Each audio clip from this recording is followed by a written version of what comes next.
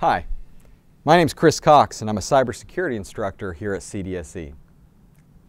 I have here a computer that's about to get infected by ransomware. You can see there's a seemingly innocent file on the desktop, in this case pretending to be a music program. Let's click on it and see what happens. So right after we click on the link, we see an unexpected pop-up message that seems kind of suspicious, a little bit unrelated to what we're expecting. What's actually happening right now is behind the scenes, the ransomware is starting to encrypt the files. You can see suddenly the load on the memory and even the CPU usage is climbing up because the computer's working even though it doesn't appear to be. That's always a warning sign when the computer's doing something that you can't see or that you didn't expect. You saw our icons right on the left-hand side of the screen. They very suddenly changed as well. What happened is that all of our critical files, our family pictures, our resume, and everything else was just now encrypted and the extension was changed. At this point, we cannot access these files because they've been encrypted by the ransomware. As you can see, it has a double extension because the association was actually changed. And even if we go ahead and rename the file in order to try to remove that secondary extension, it does not actually decrypt or give us access again to the file itself. This is being done across the entire computer where many of the files, not just those on the desktop, are being encrypted and cannot be opened without the encryption key as we discussed previously. Now at this point the files have been encrypted. This is the indication that it's completed that particular operation. And this is where the name Jigsaw comes from. The icon comes up and it informs you that your computer files have been encrypted, everything that you have, and offers you an option to recover those files. This particular version of ransomware gives you 24 hours to pay $150 in the digital currency Bitcoin in order to retrieve the key. However, every hour that you don't pay the ransom, it deletes one file, which actually gets more and more as time goes on. It also provides helpfully information on how to purchase the bitcoins if you don't have them already and how much they expect to receive. What will happen, as with many forms of ransomware, is that the system will generate a randomized one-time Bitcoin wallet in order to receive the funds. That makes it very, very easy for the attacker, using their automated means built into the ransomware, to determine if you've actually paid or not. What we will see in a moment is a countdown is going to appear to give us that one hour time frame at which point the first of the files will be deleted. Okay, and at this point the countdown has begun.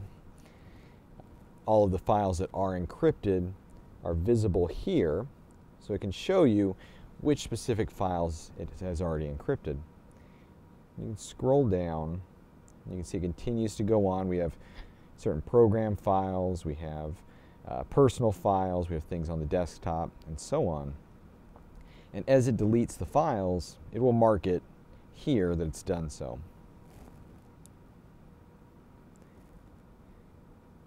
This is the randomized Bitcoin address that's been created by the program in order to receive the funds. And at that point, if the button was pay was was clicked at this point, it would check the the wallet to see if there's actually funds in there. If that's the case, then within several minutes the key will be revealed and the files can be decrypted.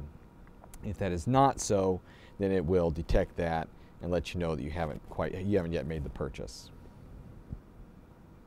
The first thing we're going to try to do is to bring up the task manager and see if we can kill this process to stop it as it is. If we can do that, that may stop the files from being deleted. However, that would not recover the encrypted files. Now you can see there's actually no process running that says Jigsaw ransomware or any number of things. Of course, the ransomware, the malware writer, wants to make it as difficult as possible to find or to recover from. But one clue here is that you may see things that you don't expect to see or are not installed. In this particular case, we look at drpbx.exe, with the description of Firefox. This computer does not have Firefox installed, and it does not have Dropbox installed, which this is meant to emulate. So that's our first clue right there. That's very likely what we're looking at, particularly when you see just how much memory it's actually running. So we're going to click and we're going to end, try to end the process and see what happens. You can see that it does kill the window, however it hasn't brought anything back and it hasn't actually stopped the countdown as well. Let's try to restart and see if that countdown comes back.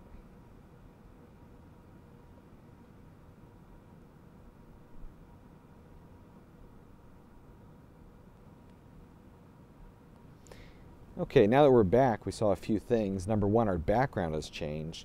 And number two, the file that we renamed has actually been deleted. And Jigsaw is back.